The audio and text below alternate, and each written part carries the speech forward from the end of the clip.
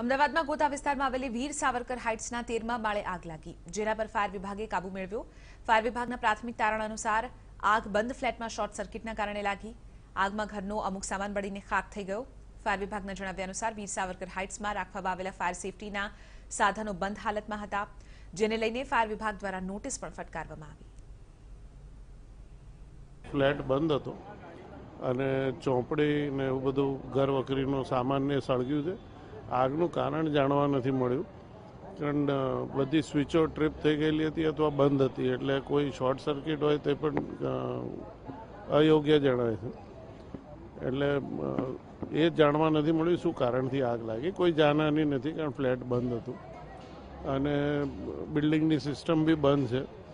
એમાં ખાલી ટેરેસની ટાંકીથી પાણી આવે છે એવું છે. અમુક વાલના પાર્ટ્સ બી ગાયબ છે. ગોતા વિસ્તારમાં આવેલા વીર સાવરકર હાઇટ્સમાં આગનો બનાવ બન્યો છે, પરંતુ જે આ ફ્લેટ છે, તેની જે ફાયર સિસ્ટમ છે, તે જે છે તે બંધ હાલતમાં જણાઈ આવી છે. આ ફાયર પમ્પિંગ રૂમના આપને દ્રશ્યો બતાવવા માંગીશ કે જે પ્રમાણે આ સમગ્ર જે પમ્પિંગ રૂમ છે તે બંધ હાલતમાં છે.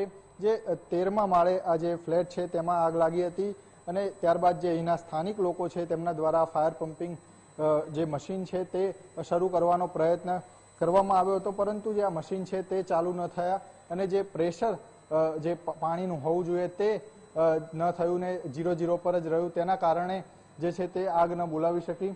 ત્યારબાદ જે ફાયર વિભાગને જે સમગ્ર મામલે સ્થાનિકો દ્વારા કોલ કરવામાં આવ્યો હતો ને ફાયર વિભાગ દ્વારા જે છે તે આ આગ બુઝાવવામાં આવી છે.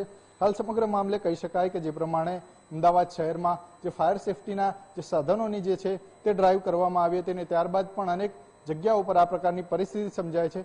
ત્યારે કહી શકાય કે તંત્ર હાલ હજુ પણ ઊંઘતું છે અને જે ફાયર વિભાગના અધિકારીઓ છે તે પણ ક્યાંક ને ક્યાંક જે છે તે ઊંઘતા જણાઈ રહ્યા છે. કેમેરા પર્સન હિરેન જોશી સાથે નયન પટેલ, ટીવી નાઇન, અમદાવાદ.